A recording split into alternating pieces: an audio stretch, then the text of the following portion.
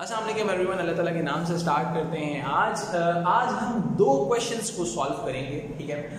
ये दोनों क्वेश्चंस बहुत इंपॉर्टेंट हैं हमारे पेपर टू दी फैमिली के लिए। क्यों? इसकी वजह ये है फ़ैन भाई फ़ैन भाई फ़ैन भाई, बाद में कॉपी कर लीजिएगा सुन इसकी वजह ये है कि एग्ज़ाम में आपका जो सेक्शन वन वाला पार्ट है फैमिली का, जिसके अंदर कौन कौन टॉपिक आते हैं? फैमिली स्ट्रक्चर जिसके अंदर डाइवर्सिटी वाला एलिमेंट आ गया हिस्टोरिकल एलिमेंट का आ गया, ठीक है, वो पर्सपेक्टिव ऑफ़ द फैमिली जिसके अंदर फंक्शनलिस्ट और मार्क्सिस्ट पर्सपेक्टिव आते हैं एम राइट ठीक है, इनसे मिला के लाजमी एग्जामिनर एक सवाल करता है। राइट यानी कि ये बात जहन में रख लेना कि एक सवाल लाजमी इसके इंटरलिंक किसी ना किसी चीज़ के साथ ज़रूर आएगा। ठीक है? मैं इसी वजह से सिर्फ़ इस पर्टिकुलर सवाल के हमको सॉर्ट आउट कराने के लिए चार क्वेश्चंस कराऊँगा, उनमें से दो क्वेश्चंस आज मैं करा रहा हूँ, ठीक है? इस वीडियो के साथ आपको वो भी मिल जाएँगे लेक्चर्स भी वो आपके क्वेश्चंस भी मिल जाएँगे, ठीक है? वो पूरी पीडीएफ है। एक्चुअली आज की क्लास के अंदर मैं आपको उन पूरा पीडीएफ का ब्रेकअप बनाऊँगा, सही? अब आपने कैसे याद करना है? सुने मैं तरीका मैं बता रहा हूँ आपको, ठीक है? आपने दो तीन मरतबा वो सैंपल आंसर पढ़ा, ठीक है? और इन पॉइंटर्स को मेमोराइज कर लिया। इन पॉइंटर्स को आपने क्या किया? मेमोराइज जब आप इन पॉइंटर्स को मेमोराइज करेंगे बॉस तो ऑटोमेटिकली क्या होगा? आपको याद हो जाएँगी ये चीज़। सही है? फिर इनको मेमोराइज किए पॉइंट को खुद लिखना शुरू करो। जब तक खुद नहीं लिखोगे एग्ज़ाम में पास नहीं हो सकते। मार्क माई वर्ड्स टैटू बना लो इस अल्फाज जब तक मैं खुद नहीं लिखूँगा I am not able to pass this exam I am extremely sorry सही है? इसको खुद से लिखना होगा। ठीक है? मैंने आपको सवाल दे दिया यहाँ पे समझा दिया मेरे मैंने अपनी ज़िम्मेदारी पूरी कर दी। आगे आपका डोमेन ठीक हो गया जी? ठीक है। अच्छा आपके जो नोट्स वगैरह हैं उसके अंदर भी ये मैंने सैंपल आंसर ऑलरेडी दिए हुए टेंशन की बात नहीं अच्छा जनाब अब बिस्मिल्लाह करते हैं हमारा पहला सवाल। Traditional families are disappearing in modern industrial societies. Traditional families क्या होती हैं? हमने पढ़ा था ट्रेडिशनल फैमिलीज़ कहते हैं एक्सटेंडेड फैमिलीज़ को, ठीक है? Extended families are disappearing in modern industrial societies am right अब इसके बहुत सारे डोमेन्स निकलते हैं। पहला डोमेन तो ये निकलता है कि हम बात करें न्यूक्लियर फैमिली के हवाले से कि भाई ट्रेडिशनल फैमिलीज़ आर डिसअपेयरिंग तो न्यूक्लियर फैमिली इमर्ज हो रही है, ठीक है? दूसरी, दूसरा डोमेन इसका ये निकलता है डाइवर्सिटी ऑफ़ फैमिली कि हम ये कह सकते हैं कि family structure is diversified am right ठीक है? अब मैं आप लोगों को दो पैटर्न्स के हिसाब से सवाल को अटेम्प्ट करना सिखाऊँगा।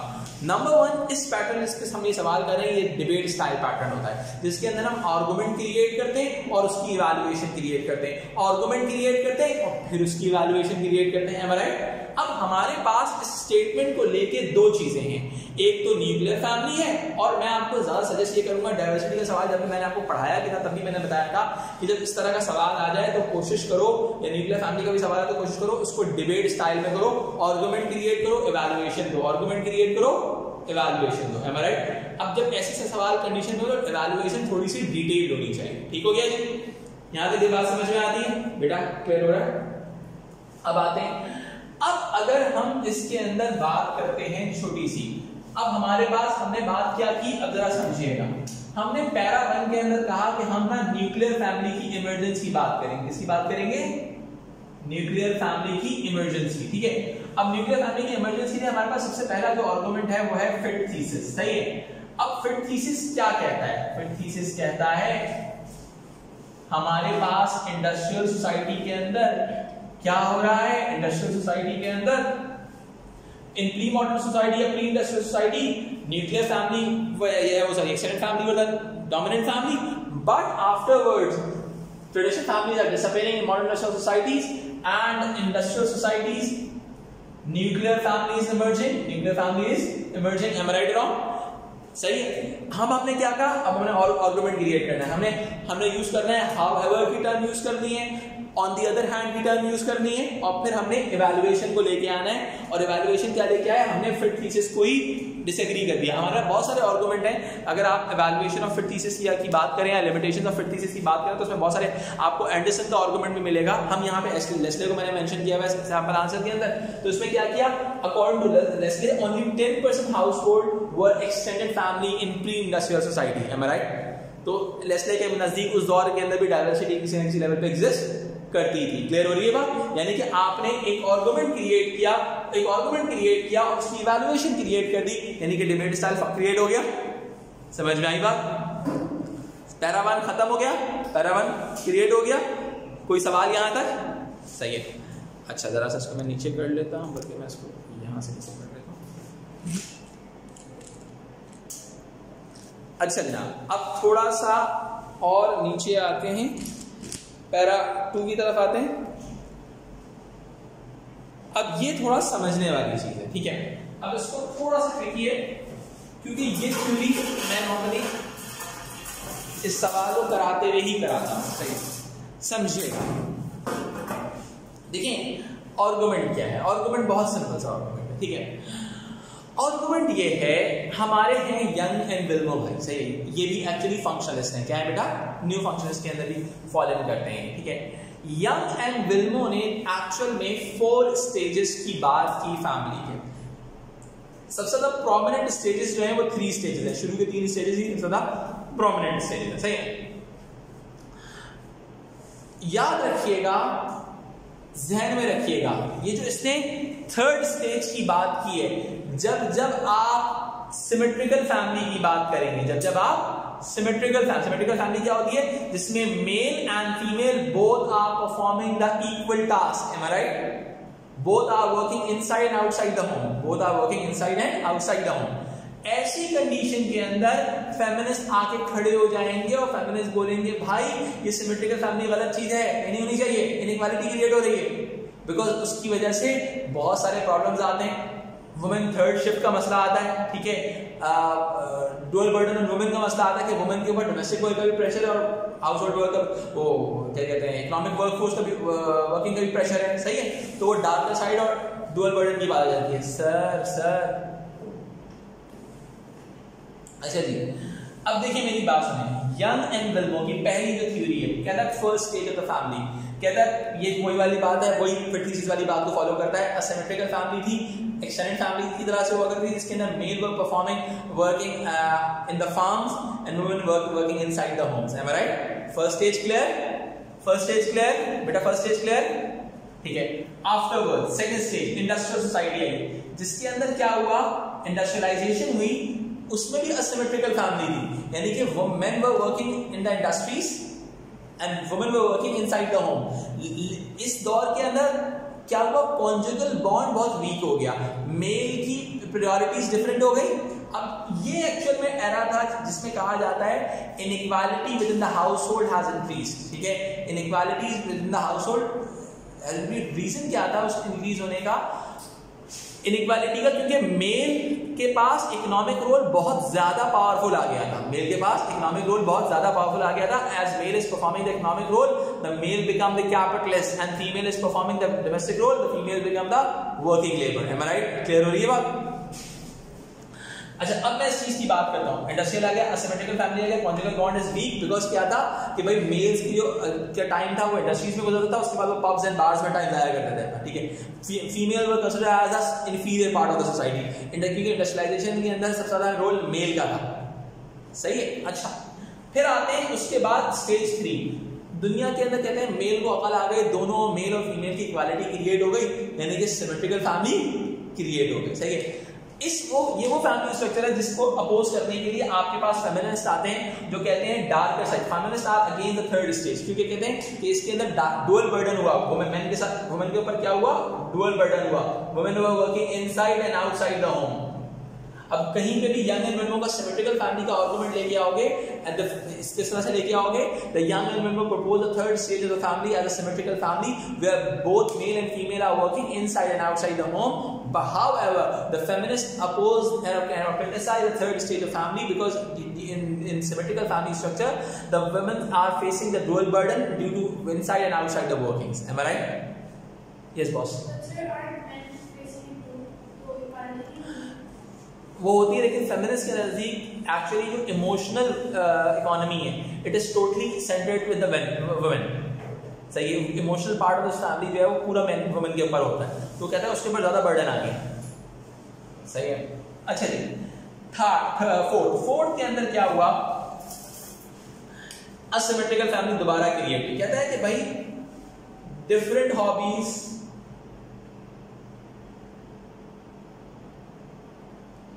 of men and women. Up men's are enjoying on the golf course and women are enjoying in the kitty parties. Am I right?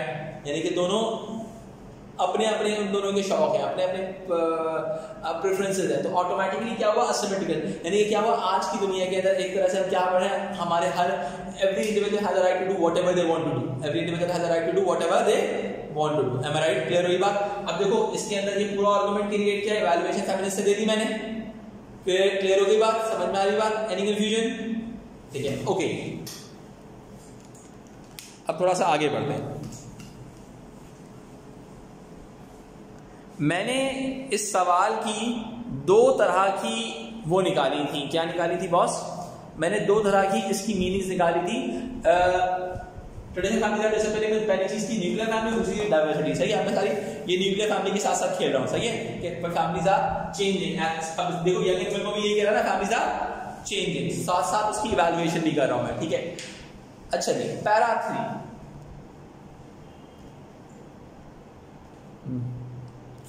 अगर मैं पैरा थ्री की बात करता हूँ तो मेरे पास पहले क्या बात है? फंक्शनलिस्ट का आर्गुमेंट आ जाता है। फंक्शनलिस्ट में हमारे पास कौन आता है? हमारे पास आते हैं मर्डॉक सही है? मर्डॉक ने एक्चुअल के अंदर क्या किया था? इसने universality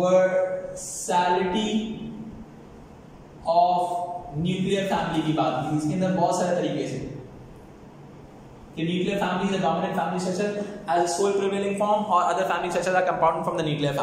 Universality of nuclear family मैंने बात पढ़ाई थी ठीक है सही है a sole prevailing form or other family structures are compounded from nuclear family तो ये नहीं कि functionalists are actually supporting the nuclear family ये बात समझ में आती है ठीक अब इसमें evaluation क्या आएगा अब मैं यहाँ पे evaluation में डाल दूँगा diversity कि uh, the Glock argues that uh, in Nayar of Malabar, there is existence of polyandry, uh, polyandry marriage where one female is marrying with multiple males. Sir, sir, Nayar of Malabar. क्या चीज़ होते हैं? ये वो families होती हैं, जिसके अंदर one one female is marrying with with having a relationship with multiple males polyandry कहते हैं उसको हम, ठीक है? तो अब क्या हो गया? हमने क्या कहा? एक चीज़ ये आर्गुमेंट क्रिएट किया कि traditional families are changing in the in the form of nuclear family but nuclear family भी एग्जिस्ट नहीं करती there is a diversity in the society society में diversity in the form of Nayar of Malabar am right जो argument create किया, हमने उसको evaluate किया साथ साथ एनी कंफ्यूजन बेटा? ठीक है? Para number four. Para number four के अंदर हमने क्या कहा? Leach argument related to the cereal packet cereal packet family को होती है। ये वो न्यूक्लियर फैमिली का इमेज होता है जो एडवर्टाइजमेंट में डेवलप किया जाता है। ये वो न्यूक्लियर फैमिली का इमेज होता है जो एडवर्टाइजमेंट में डेवलप किया जाता है। As as a male is breadwinner female is working inside the home ठीक है? यानी कि थोड़ा सा एक आइडियल फॉर्म ऑफ़ फैमिली होती है, ठीक है? अच्छा अब इसके अंदर आइडियल फॉर्म ऑफ़ फैमिली की हमने बात कर ली। अब इसके अंदर हम रैपोर्ट्स को इंक्लूड करेंगे। Rapoports is one of the sociologist जिसने डाइवर्सिटी ऑफ़ फैमिली के ऊपर शायद सबसे ज़्यादा काम किया Rapoports is one of the sociologist diversity of family पे सबसे ज़्यादा काम किया। इसने कहा डाइवर्सिटी ऑफ़ फैमिली की बात की इसने कहा diversity is a global trend diversity is a global trend पूरी दुनिया में डाइवर्सिटी आप बेशक न्यूक्लियर फैमिली का डंडोरा पीट रहे हो but the thing is diversity exist in all societies any confusion चले यानी कंफ्यूजन चल रहा है ठीक है। यानी कि जो आर्गुमेंट मैं दे रहा हूँ, उसकी कहीं ना कहीं अपोजिशन का आर्गुमेंट भी लेके आता हूँ साथ साथ क्लियर हुई बात? ठीक है। अच्छा जी, अब आते हैं पैरा फाइव के ऊपर, ठीक है। पैरा फाइव में जब हम आते हैं तो वीक्स कहता है कि डिक्रीज इन हेट्रोसेक्सुअल नॉर्म हो रहा है और इंक्रीज इन होमोसेक्सुअल ट्रेंड हो रहा है। अब यहाँ से मैंने डाइवर्सिटी के आर्गुमेंट लाना शुरू कर दिए। वीक्स ने कहा था सोसाइटी के अंदर हेट्रोसेक्सुअल नॉर्म नीचे आ रहा है, इसका मतलब ये कि मेल और फीमेल की मैरिजेस का शादी का रिलेशनशिप जो है वो कम हो रहा है और होमोसेक्सुअल नॉर्म्स बढ़ रहे हैं, ठीक है। जिसकी एग्जांपल आप कहते थे तो यूके के अंदर लॉ पास हो चुका है इंडिया में लॉ पास हो चुका है, ठीक है। On the other hand there are some conservative countries like Iran and KS Kingdom of Saudi Arabia where there is a, still there is a uh, punishment related to homosexual relationships. Any confusion there? किसी को कोई confusion नहीं आता ठीक है जी आगे बढ़ते अब आगे आते हैं अब हमने अब हमने क्या हम किस पे चल रहे हैं बेटा हम सिर्फ़ नई से नई डाइवर्सिटी या आर्गुमेंट्स की तरफ़ जाएँगे ठीक है फेमिनिस्ट मूवमेंट है जिसके अंदर कहते हैं वुमेन आर स्टेइंग अब देखो फेमिनिस्ट मूवमेंट की वजह से क्या हो रहा है दुनिया के अंदर? कि women are staying more in education they are getting more education once they are getting more education they are getting economic independence सही? है इकोनॉमिक इंडिपेंडेंस होगी तो डेफिनेटली बात डाइवोर्स रेट बढ़ेगा कम होगा। बढ़ेगा। सही है। देखो सीधा है बता रहा हूँ ठीक है? इकोनॉमिक इंडिपेंडेंस वो भुगता हुआ ऐसा लग रहा है। अच्छा आगे सही है आ जाओ। आगे बढ़ते हैं। तो अब सीन क्या होता है कि women are staying more in education economic independence होगी इंक्रीज इन डाइवोर्स होगा है राइट जब डाइवोर्स डेवलप हो, ज़्यादा होगी तो मैंने आप लोगों को पहले बताया था तीन तरह के फैमिली स्ट्रक्चर्स डेवलप होंगे। Lone parent family single person household और रिकंस्ट्रक्टेड फैमिली यानी कि डाइवर्सिटी बढ़ गई। डाइवर्सिटी बढ़ गई, ठीक है? इवैल्यूएशन में आप बोल सकते हैं कि भाई लोग अब मैरिजेस की तरफ़ जा ही नहीं रहे they are moving towards cohabitation argument हो सकता है कि than having marriage and getting divorce due to threat of divorce की वजह से लोग क्या कर? They are going for cohabitation. सही है? यानी कंफ्यूजन है यानी कि हाँ आपने पहले पूरी कहानी डेवलप की, फिर उसने कहा हाँ कहानी का ये दूसरा रुख भी है, देख लेना जरा सा। यानी कंफ्यूजन है कंफ्यूजन नहीं आता किसी को? ठीक है। फिर आगे आते हैं। फिर पैरा सेवन की तरफ़ आते हैं हम। सही है? पैरा सेवन के अंदर हम लेके आते हैं increase in immigration UK UK के अंदर इमिग्रेशन बढ़ रही है, जिसकी वजह से डाइवर्सिटी इन द यूके बढ़ती रहेगी एम राइट ठीक है। फिर हम कहेंगे कि भाई लेट्स सपोज़ इस डाइवर्सिटी की वजह से एक और चीज़ हो रही है, जिसको हम कह सकते हैं misleading image of black family black family का मिसलीडिंग इमेज डेवलप हो रहा है कि उनके मेल पार्टनर्स कुछ काम नहीं करते, जबकि बहुत सारी कंडीशंस के अंदर उनके male partners are working am right wrong कोई कंफ्यूजन नहीं आता, उनके मेल पार्टनर्स काम कर रहे होते। हैं पैरा 8 के अंदर हम कह सकते हैं increase in lone parent household इसकी बात नहीं कर सकते डाइवर्सिटी के हवाले से एक आर्गुमेंट क्रिएट कर दिया देन कंक्लूड कर दें आप इसको। यानी कंफ्यूजन चलेगा ठीक है। यानी कि पूरा सवाल एक्चुअली डिबेट पैटर्न के ऊपर डेवलप किया गया है। हर आर्गुमेंट को क्रिएट करने के बाद उसकी जो नेगेटिव साइड है, उसके ऊपर ज़रूर एम्फेसाइज किया गया है। ठीक है? जनाब अब आते हैं एक और सवाल की तरफ़। ठीक है? अच्छा अब देखो मेरी बात सुनो। इस सवाल के अंदर मैं वैल्यूएशन के पॉइंटर्स और अपने साम, हमारे सामने अडॉन करूँगा। सही है?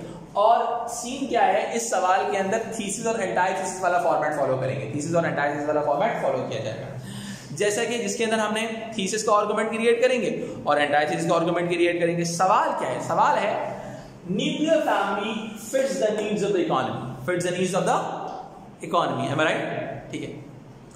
अब हमारे ये कौन कहता है? ये फंक्शनलिस्ट कहते हैं। ठीक है? दूसरी तरफ़ हम कहते हैं, कह सकते हैं, फिर the needs of the capitalism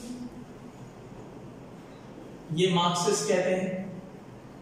दिखने में तो ये ऑर्गोमेंट दोनों अलग अलग है। अलग अलग हो भी सकते हैं। लेकिन किसी ना किसी पॉइंट पर हम दोनों को मिला भी सकते हैं। Because economy is capitalist economy although Marxists इस चीज़ को सपोर्ट नहीं करता, लेकिन क्या कहता है? मार्क्सिस इस चीज़ के बारे में ये बात ज़रूर कहता है। मार्क्सिस इस बात को सपोर्ट नहीं करता, लेकिन मार्क्सिस इस बात को ज़रूर कहता है कि भाई इकोनॉमी के साथ ताल्लुक तो है ना कहीं ना कहीं? इकोनॉमी के साथ ताल्लुक तो है।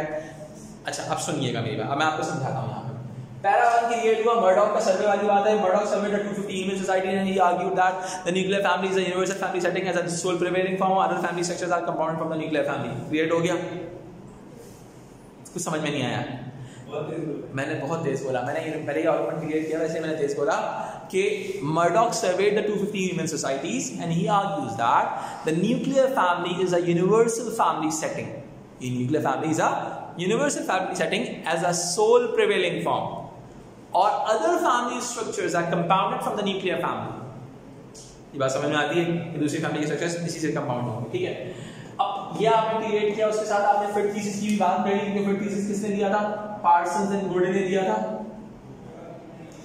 जिन्होंने कहा था कि nuclear family fits the news of the economy how is this so because nuclear family supports geographical mobility am I right the nuclear family supports the economic feasibility of the modern industrial society am i right the nuclear family fits the needs of the economy सही है nuclear family fits the needs of the nepotism within the economy economy में जो nepotism है उसको भी support करती है ये चीज़ क्लियर हो रही है बात यानी कि तमाम आर्गुमेंट आपने इस हवाले से क्रिएट कर दिए ठीक है फिर आप अब मेरी बात सुने इसके अंदर क्या हुआ इसके इवेल्युएशन में इसके आर्गुमेंट आ सकते हैं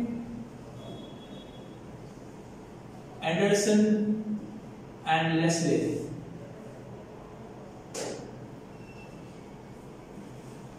आ सकता है? एंडरसन एंड लेस्ले आ सकता है? सही है। किसने कहा था? पार्सन एंड गोडे के अगेंस्ट में आए थे। फिर थीसिस के अगेंस्ट में आए थे एंडरसन एंड लेस्ले ठीक है। फिर पार्ट पैरा टू पे है पैरा टू के कहा कि फंक्शनल प्रीरेक्विजिट्स की बात की Murdock propose the functional prerequisites within the society that these functions must be played by the family and to perform these functions nuclear family is the best family setting nuclear family is the best family setting what are those functional prerequisites number one is all about sexual control you must need to have a, a, a exclusive sexual partnership and the family the nuclear family must need to fulfill the socialization Uh, the economic provision and reproduction they need they must need to perform all these things am i right and nuclear family is the best family setting to perform all these functions am i right मैं आपको एक बात समझाता हूँ सुनना आप चाहो तो एक एक चीज़ को भी आ, क्या क्रिएट कर सकते हो एवेल्युएशन क्रिएट कर सकते हो लेट सपोज़ अगर मैं बात करता हूँ रिप्रोडक्शन की तो गे एंड लेस्बियंस की बात करो एवेल्युएशन में ये लोग किसकी तरफ़ जाते हैं ये लोग आईवीएफ की तरफ़ जाते हैं सही है इकोनॉमिक प्रोविज़न में आप बोलो state is supporting the family structure सही है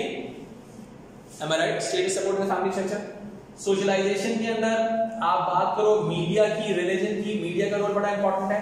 सेक्सुअल कंट्रोल के अंदर आप बात करो. कोहैबिटेशन की आज दुनिया में कोहैबिटेशन हो रहा है. लिव इन रिलेशनशिप है. तो यानी कि चारों चीज़ों के आर्गुमेंट क्रिएट हो सकते हैं. जब मैंने पढ़ाया था, तब भी मैंने इनकी वैल्यूएशन क्रिएट की थी रिमेंबर तो आप इसकी वैल्यूएशन क्रिएट कर सकते हैं कि भाई मर्डॉक ने जो फ़ंक्शंस बोले हैं, ये जो कारनामे बोले हैं, भाई इसके अलावा इनके दूसरे सोशल इंस्टीट्यूशन भी परफॉर्म करते हैं। कोई मसा बेटा है? एनी कंफ्यूजन चले यार? ठीक है। पैरा थ्री पे आते हैं। पहले हम बोलेंगे द फैमिली स्ट्रक्चर पर multi functional family structure in pre modern society और फिर क्या हुआ? मॉडर्न सोसाइटी के अंदर क्या हुआ? कौन सा स्ट्रक्चर हुआ? फैमिली स्ट्रक्चर्स वर स्पेशलाइज ठीक है। जिसके अंदर हम बात कर सकते हैं फ्लेचर की core and peripheral functions core function of the function which were previously perform by the family and this function could not be perform by any other social institutions but peripheral function of the functions which were previously perform by the family but now this function are perform by some other institution like health care education कोई मसला याद है? ठीक है clear हो बात? तो आपने इस बात को डेवलप कर दिया यहाँ पे। ठीक है, फिर आप एंटायर की तरफ़ आए। और आपने क्रिएट किया मार्क्सिस आर्गुमेंट क्रिएट किया, जिसमें आपने कहा कि nuclear family fit the of capitalism जिसके अंदर आपने अल्थूजर की बात की, जिसने आईडीएसए की बात करेगा अल्थूजर अल्थूजर कहेगा कि family an ideological state apparatus सही जेड्स की करेगा अब जेड्स की एक कांसेप्ट दिया हुआ है प्राइवेटाइज्ड न्यूक्लियर फैमिली का। कि एक ऐसा फैमिली स्ट्रक्चर जो सिर्फ़ अपनी जिंदगियों के अंदर लगा रहता है एम राइट अपनी जिंदगियों में लगा रहता है। तो वो क्या है? प्राइवेटाइज न्यूक्लियर फैमिली है, जो एक्चुअल के अंदर सोसाइटी में किसी भी किस्म के रेवोल्यूशन के लिए अगेंस्ट खड़ा हो जाता है। ठीक है? क्लियर हो रही है बात? नहीं समझ आया? आया है ठीक है। अच्छा अब देखो मेरी बात सुनो। अब देखो मेरी बात सुनो, इसी आर्गुमेंट को डेवलप करेंगे मार्क्सिस्ट फेमिनिस्ट के आर्गुमेंट से ये पूरा डेवलप हो रहा है, ठीक है?